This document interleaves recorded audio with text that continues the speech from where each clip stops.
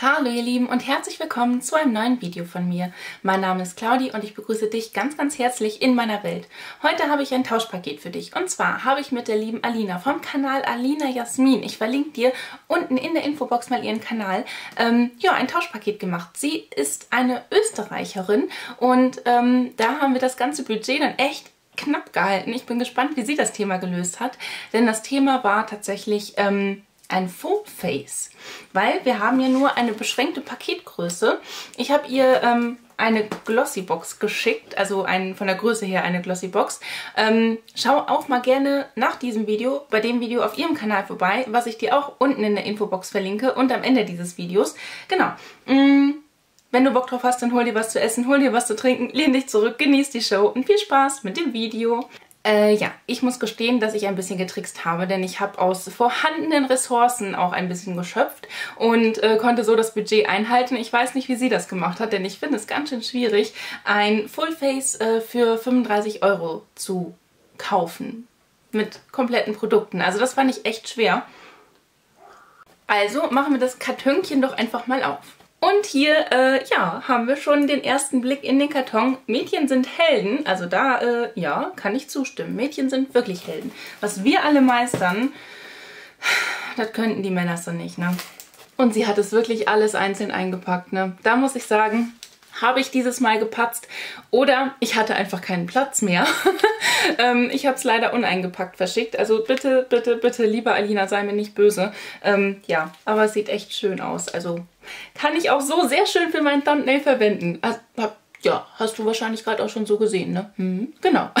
Liebe Claudia, ich freue mich sehr, dass wir gemeinsam ein Tauschpaket machen. Ich habe dir ein paar tolle Produkte aus Österreich ausgesucht. Sehr geil. Und bin sehr gespannt, wie dein Look aussehen wird. Ich auch. Deswegen starte ich auch gerade echt nackt. Ne?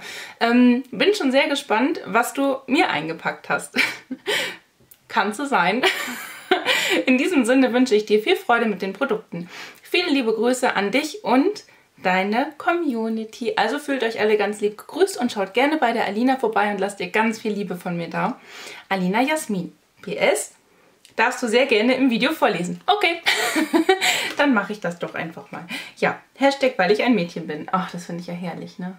Das finde ich super. Eine richtig süße Karte. Gefällt mir. Ja, wer ist eigentlich Alina Jasmin? Das ist eine liebe Lady, die ich auch anfangs schon geschaut habe, bevor ich selber Videos gemacht habe und äh, die mich halt auch immer wieder inspiriert hat wie man was machen kann.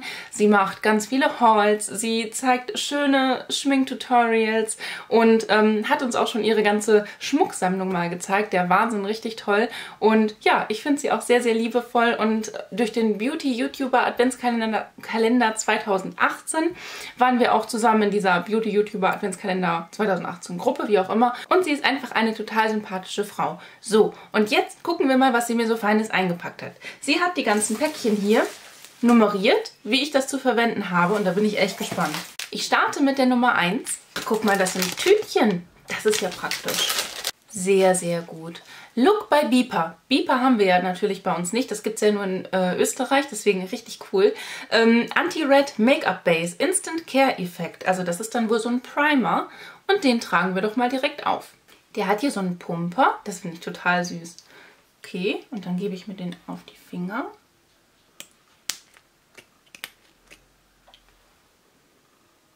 Der riecht sehr frisch und ist so, ja, grünlich halt, ne? Ist halt eine Anti-Red Base. Und batsche ich mir zwischen meinen Mittelfingern und gebe ihn mir auf. Fühlt sich an wie eine ganz normale Creme. Ja. Oh, und der glitzert oder schimmert auch ein bisschen. Das ist ja auch interessant. Ich weiß nicht, die Kamera fängt das wahrscheinlich nicht so ein, ne? Aber da ist auch so ein leichter Schimmer jetzt auf meinen Fingern. Das finde ich irgendwie cool. Ich mag ja diese ganzen ähm, Sachen, die das Gesicht zum Strahlen bringen und einen natürlichen Glow verleihen. Deswegen mag ich ja zum Beispiel auch total gerne von How Cosmetics den Primer, weil der einfach so, ah, der ist einfach toll. Der bringt mein Gesicht zum Strahlen. So, ich gebe mir auch immer auf meinen Hals ein bisschen Primer, einfach weil mein Hals einfach zu meinem Gesicht und zu meinem Kopf dazugehört. Fühlt sich schon mal, oh, das fühlt sich schön an. Jetzt habe ich eine ganz weiche Haut. Hm, Babyhaut, Dankeschön. Da hast du mir Babyhaut gemacht, Alina. Die Nummer 2. Catrice Eye Foundation Waterproof Eyeshadow Primer in Matt. Siehste wohl, das ist ja schön von Catrice. Das habe ich noch nie gesehen. Cool. Und es ist so ein Bild, ein Füßchen. Füßchen ist das ja, ein Füßchen. Und das mache ich mir auf die Lider. Und oh, der fühlt sich auch schön weich an. Ganz, ganz, ganz soft. Das ist angenehm. Oh. In der Farbe 010 As Strong As You Are. Das hat gut funktioniert. Und es ist ein bisschen klebrig, aber angenehm. Also von der Konsistenz her oder vom, wie es halt jetzt so auf dem, von der Haptik her, ist es ganz schön.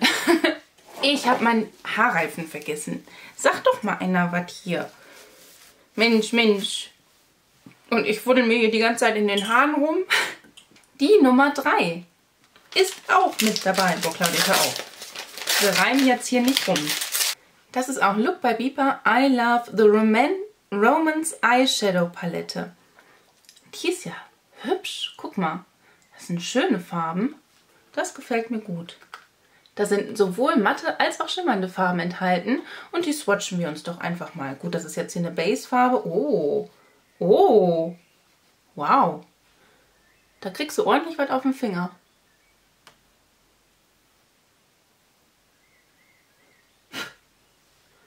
Ja.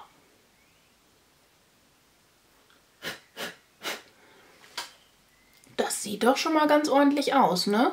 Ich glaube, damit kann ich was zaubern. Na, dann wollen wir mal. Erstmal nehme ich hier diese... Achso, da ist kein Spiegelbein. Dann nehme ich mal eben den von Jana. Huch, nicht auseinanderfallen hier. Manchmal fehlt mir noch so eine Hand. Oder fünf. Das wäre nicht verkehrt. Sehr aber komisch aus, ne? Ja. Ich glaube, so funktioniert das am besten. So, genau. Dann gehe ich jetzt erstmal hier in diese normale Base-Farbe rein. Mit meinem Pinselchen und gebe mir das auf mein Lid. Also für eine Base-Farbe ist das schon mal sehr, sehr gut pigmentiert. Gut, ein bisschen Fallout habe ich jetzt hier unten drunter. Das kriegen wir aber wo weg. Aber sie wird sich ja was dabei überlegt haben, dass sie mir halt empfohlen hat, erstmal den Lidschatten aufzutragen. So, dann gehe ich in diese Farbe, in dieses Taub.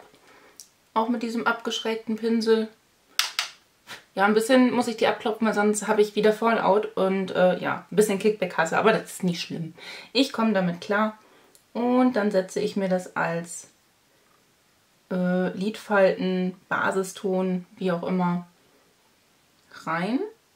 Es ist sehr soft von der Pigmentierung her jetzt so auf den ersten Blick, aber es sieht schön natürlich aus. Also ich denke, dass es was wird. Ich finde, auf dem Augenlid wirkt es deutlich rötlicher, als es im Fännchen wirkt. Ne? Also hier ist es sehr tobmäßig, sehr ins Bräunliche und auf dem Lid wirkt es etwas rötlicher. Finde ich aber nicht schlimm. Die Lidschatten, die hier drin sind, sind sehr, sehr soft gepresst. Also die ähm, Formulierung, das merkst du auch einfach, ne? Ist sehr weich. Auch als ich die geswatcht habe, ist es alles sehr, sehr soft. So, dass wir hier einen ähm, rötlichen Unterton haben, ist gar nicht so schlimm. Denn ich gehe jetzt auch mal in dieses, ähm, ja, dunkelrot, Magenta, genau, mit einem Blendepinsel rein. Ja, du hast Kickback.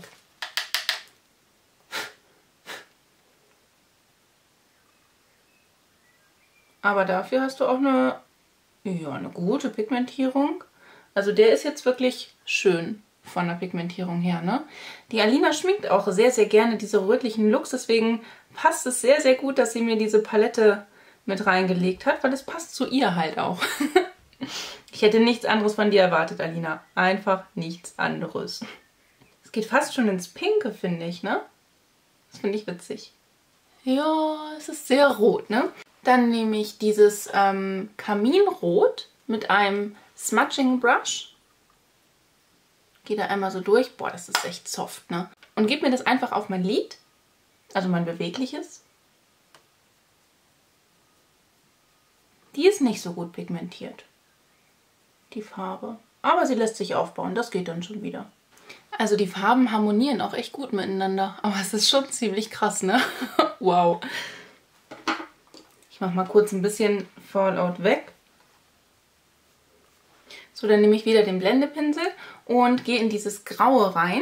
ganz außen. Das schimmert auch ein ganz kleines bisschen. Und gebe mir das einfach nochmal hier außen so ein bisschen hin. Und wenn das Grau so jetzt auf diese anderen Farben trifft, dann wird es irgendwie lila. Das ist schon ziemlich interessant, oder? Wie die Farben sich so verändern. Mache ich zwischenzeitlich mal diesen Blendepinsel ein bisschen sauber. Da habe ich ja diesen Catrice äh, Quick and Clean äh, Quick and Easy Brush Cleanser Pot. So sieht die Verpackung aus. Kann ich euch auch nur ans Herz legen. Ist mega geil. Mm, und gehe dann nochmal in dieses Taupe und verblende nach oben hin so ein bisschen. Und mit meinem kleinen Finger gehe ich dann hier in diese schimmernde Farbe. Das ist so ein, ja, kleiner Finger vor allem. So ein äh, ganz zartes Rosa fast schon und gebe mir das einfach in den Augeninnenwinkel. Und weil ich Bock drauf habe, ziehe ich das auch noch ein bisschen hier übers Lid und tupfe das so ein bisschen. So, das sieht jetzt alles noch ziemlich unfertig aus, aber äh, wenn ich nachher noch Foundation und Concealer drauf mache, der hoffentlich auch noch da drin ist, dann, ähm, ja, ich kann ja noch nicht unten meinen unteren Wimpernkranz machen. So, das ist auf jeden Fall eine coole Lidschattenpalette. Die lasse ich hier aber auch noch erstmal stehen, weil ich ja gleich noch meinen unteren Wimpernkranz machen werde. Mir gefällt die ganz gut. Also für den Alltag ist es, glaube ich, ein bisschen zu knallig für mich, aber ich finde sie eigentlich ganz schön. Die Pigmentierung finde ich äh, stärker als erwartet. Und äh, die fühlen sich auch schön an, die Farben. Also von der Weichigkeit, von der Haptik ist es sehr schön. Und was mir auch auffällt, es passt perfekt zum Haarreifen und irgendwie halt auch zum Oberteil, ne? Weil diese pastelligen Töne, das passt immer ganz gut. So, das nächste Päckchen ist die Nummer 4. Die Nummer 4 ist hier. Das ist auch von Look by Beeper All Over Matte Make-up Approved Longwear in der Farbe 10. Okay. Ich habe hier schon mein Emberschwämmchen äh, befeuchtet. es ist schon wieder riesig geworden. So, dann mache ich mir mal was auf meinen Handrücken. Oh ja, die ist, oh, guck mal, die ist richtig fest. Das ist eine richtig feste, cremige Textur. Dann wollen wir mal schauen. Ich glaube, es ist besser, dass ich mir das jetzt erstmal mit dem Finger auf mein Gesicht gebe. Oh mein Gott, das ist fast schon von der Konsistenz her wie der äh, Catrice One Minute Face Perfector. Gott, das ist aber hell. Huch. Wir schauen mal. Wir schauen mal. Wir schauen mal. Ich weiß nicht, ob das jetzt so sinnvoll ist, es mit einem angefeuchteten Beauty-Schwämmchen einzublenden, aber ich versuche es mal. Doch, das geht wohl. Passt sich schon dem Hautton an, das muss ich sagen. Also natürlich werde ich ein bisschen blasser dadurch, aber es passt sich gut an. Hm. Also ich habe jetzt auch jetzt, das finde ich auch so cool, jetzt so im Spiegel sieht es nicht so aus, als hätte ich hier oben zum Beispiel so einen Make-up-Rand. Das passiert bei mir nämlich ziemlich oft, weil ich auch immer so in meinen Ansatz rein verblende. Und dann wirkt es manchmal so ein bisschen Sieht kacke aus. Das habe ich hier nicht. Und das ist unfassbar matt. Wow. Also, das ist äh, extrem matt. Also so eine matte Foundation habe ich, glaube ich, noch gar nicht. Krass.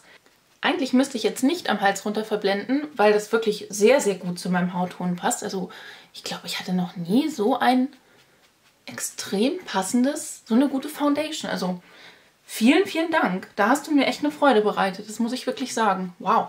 Alina. Vor allem, wenn man bedenkt, wir haben uns ja nie persönlich getroffen. Ne? Sie sieht mich ja nur in der Kamera. Das ist so heftig, dass man dann trotzdem herausfindet, was zum anderen passen könnte. Das finde ich echt cool. Wow. Bin begeistert. Ja, auch mit dem Schwamm hat sich das eigentlich ganz gut so einarbeiten und verteilen lassen.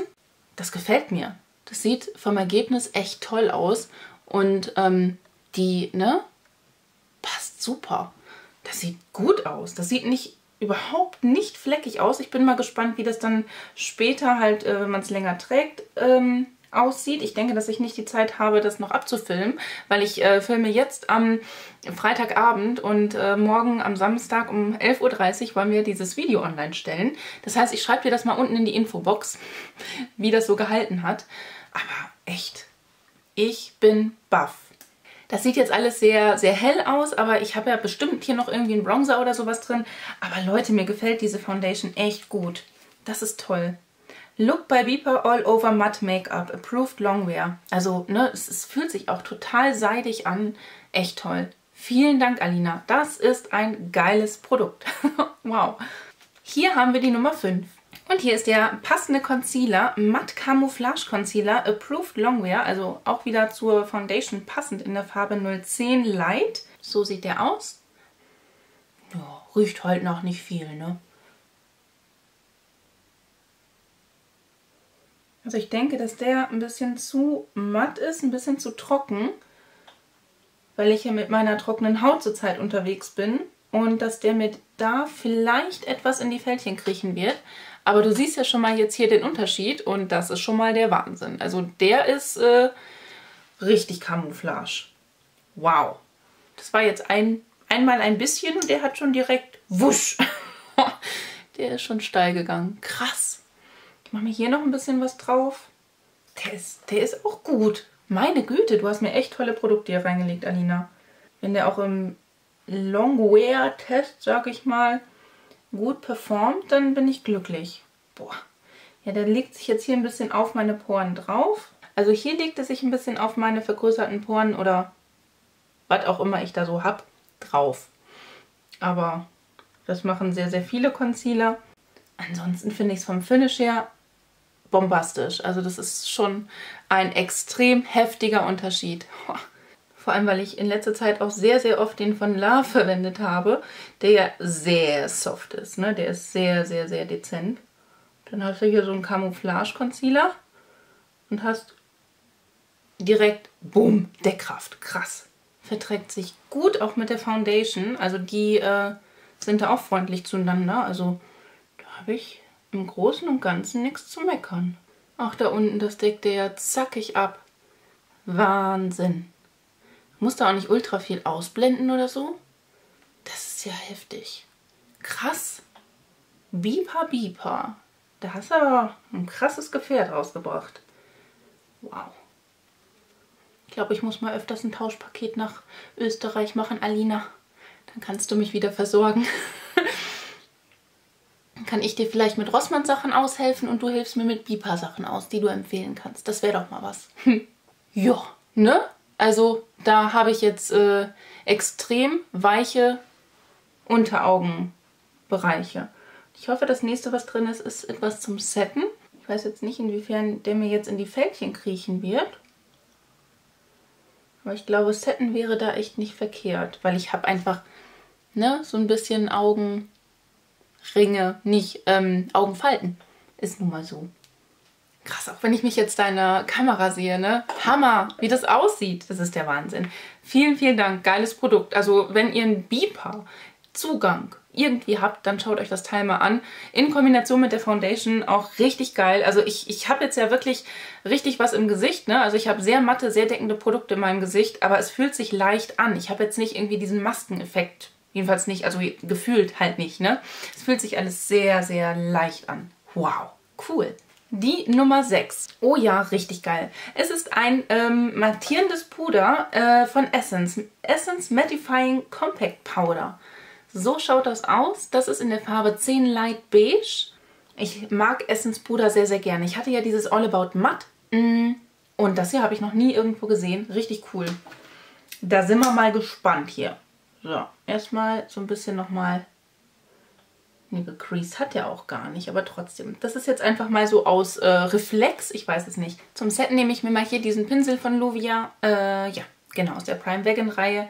Gehe dann hier in das Puder mal rein. Ist jetzt einfach mal für unter die Augen, ne? Gehe dann unter meinem Auge entlang. Aber eigentlich muss ich den nicht setten, weil der auch schon, der ist trocken, ne? Der betont so ein bisschen meine Fältchen, ähm, weil er halt trocken ist. Aber dafür rutscht er nicht in die Fältchen. Also das eine willst du, das andere musste. Kannst du nicht jetzt irgendwie alles haben im Leben hier. Also im Prinzip überall, wo ich jetzt mit dem Concealer war, gehe ich jetzt hier mit diesem Pinsel nochmal ein bisschen präziser entlang. Und dann nehme ich mir einen großen Puderpinsel von Luvia, gehe der rein und puder mein Gesicht ab. Auch wenn ich das eigentlich in dem Sinne nicht so ultra müsste, weil ich bin ja schon ja, matt. Aber das ist dann halt auch, wenn nachher vielleicht noch irgendwelche Gesichtsprodukte kämen, dass ich da halt noch in irgendeiner Art und Weise eine bessere Verbindung schaffen kann. Das ist halt ähnlich wie wenn du deine ähm, Lidschattenbase abpuderst mit einem hellen Lidschatten, dann hast du halt nachher, finde ich, eine bessere Verbindung mit den ganzen Lidschatten. Ja, also das hat auch ein schönes Finish gemacht und äh, meine Haut noch weicher gezeichnet. Das Puder gefällt mir richtig gut. Das ist toll. Von Essence Mattifying, Mattifying Compact Powder. Schaut euch das gerne mal an. Ich habe das aber im DM noch gar nicht gesehen, muss ich gestehen. Hm? ja, ich kann jetzt meine, mein Undereye weitermachen. Ha, dann mache ich das doch mal. Komm mal näher hier doch. Äh, so rumdrehen, genau. Hi. So, unten möchte ich jetzt eigentlich nur so ein bisschen grau werden, weil rot finde ich jetzt ein bisschen schwierig. Ähm, genau, deswegen gehe ich hier einfach in dieses grau-lila transformierende Ding rein und presse mir das richtig unten an mein Auge dran. Aber dann kannst du halt hier so einen leichten Smoke-Effekt quasi noch zaubern. So, mit diesem ähm, Magenta-Rot, äh, diesem Magenta-Rot verblende ich das hier an der Seite nochmal so ein bisschen. Und mit dem Point Brush gehe ich dann wieder in dieses Rosa rein und setze mir das zum einen richtig ins Inner Corner und ziehe mir das sowohl hier unten noch ein bisschen entlang äh, nicht ins Auge. Als auch hier oben. Ich finde, das öffnet einfach nochmal so ein bisschen das Auge. Lidschattenlook ist vollendet. Gefällt mir ganz gut. Das ist so ein typischer Alina-Look. ja, mag ich gerne leiden. So, dann habe ich hier die Nummer 7. Und hier haben wir die Contouring and Sculpting Palette. Das ist die Farbe 010. Das ist mit einem Konturbronzer, einem Blush und einem Highlighter. Und das sieht schön aus sind richtig schöne Töne. Oh, auch die fühlen sich wieder so weich an. Das ist ja Wahnsinn. So sehen die aus. Und die sind sehr dezent und das gefällt mir gut. Das passt auch, weil ich bin ja relativ hell. Relativ, sagen wir relativ. Manche sagen todeshell. Hm. hm. so, ähm, ich möchte anfangen mit dem Blush. Oha, der krümelt aber. Das ist sehr heftig. Und ja, tragt man den Blush auf. Ja, der ist sehr hell, aber er gefällt mir. Kann man bestimmt auch noch ein bisschen mehr aufbauen hier. oh ja, das ist auch schön peachy, ne? So, so ins Natürliche. Es verleiht einfach dieses natürliche Rot der Wangen und gibt meinem Gesicht halt auch wieder ein bisschen Farbe zurück. Das mag ich. Das sieht doch schon wieder ein bisschen mehr nach Farbe aus, ne? genau, dann gehen wir jetzt in den Bronzer rein. Oh, oh. Okay. Das ist halt von der Kon Konsistenz her oder von der Textur her wirklich soft. Deswegen dippe ich den da einfach mal rein und trage mir den dann auf. Also sehr, sehr pudrig. Das ist wirklich sehr pudrig. Ich habe enorm viel Kickback in der Palette. Aber die Farben mag ich. Das passt einfach auch zu mir, ne? Das sieht doch schon mal ganz gut aus. Jetzt kommen wir zum Highlight. Zum Highlighter. So, da habe ich hier auch von äh, BH Cosmetics aus dem Rose Quartz Set so einen Highlighter-Pinsel. Und dann gehe ich erstmal hier so vorsichtig drüber. So ein schöner Champagnerton, ne? Oh, der kann aber was. Nicht zu extrem, aber der kann. Das ist cool. Der erinnert mich halt auch echt an die Essence Hey Cheeks Palette. Da muss ich wirklich sagen. Vom Ton her ist der toll. Oh, das sieht gut aus. Das ist eine schöne Palette. Die ist zwar sehr, sehr, sehr, sehr, sehr, sehr, sehr dezent gepresst, aber sie macht ein richtig schönes Ergebnis und sie passt voll zu meinem Hautton-Typen. Ne? Gefällt mir. Dankeschön, Alina. Die ist geil. Die ist richtig geil. Wow. Dann gucken wir mal weiter. Hier habe ich die Nummer 8. Hier haben wir schon mal eine Mascara. Das heißt, ihr werdet mich heute ohne Eyeliner sehen. Oh mein Gott. Ja, äh, Ne? Damit muss ich auch erstmal klarkommen. so, ach so, ich sollte jetzt mal zeigen, was das für eine Mascara ist, bevor ich die drauf mache. Ne? Das ist die Look by Bipa Drama Doll Mascara. Also im Prinzip mache ich hier fast auch einen Full Face Look bei Bipa. Das ist ja auch witzig, ne? Das ist die Mascara und sie scheint waterproof zu sein. Weiß ich nicht. Blau ist für mich immer waterproof. Turn up the volume. Die cremige, wasserfeste Textur erreicht jede einzelne Wimper und sorgt für einen widerstandsfähigen, voluminösen Wimpernkranz. Durch mehrmaliges Auftragen kann der Volumeneffekt intensiviert werden, mit wertvoller Monoir-Butter angereichert. Na guck, dann gucken wir mal. Also dieses hier oben zum Drehen finde ich ganz cool, ne? Sieht schon mal ganz cool aus. Ein Gummibürstchen, sehr gut. Ich mag Gummibürstchen. Eigentlich mag ich mittlerweile so gut wie alle Bürstchen, weil meine Wimpern auch sehr freundlich geworden sind und so gut wie alles annehmen, was man ihnen so gibt. Und aus allem etwas Wundervolles zaubern. Riecht ganz angenehm. Schicht Nummer 1. Ja, jetzt in der zweiten Schicht äh, fängt die Mascara an so ein bisschen klumpig zu werden. Deswegen belasse ich es auch bei zwei Schichten. Ähm, gefällt mir aber ganz gut. Doch, also sie verlängert die Wimpern und gibt auch Volumen. Finde nur ich, dass es, dass es irgendwie so ein bisschen so aussieht, als hätte ich jetzt künstliche Wimpern drauf. Das ist schon krass. Also das Ergebnis ist der Hammer. Das gefällt mir echt gut. Wow. Ich kann mich echt nicht beschweren. Alina, die Produkte, die du mir in das Paket gepackt hast, die sind durch die Bank weg echt geil. Das ist echt geil. Guck dir das an, diese Klimperwimpern. ich finde das faszinierend gerade. Und ähm, übrigens, der Concealer, der ist nicht am Creasen oder so, ne?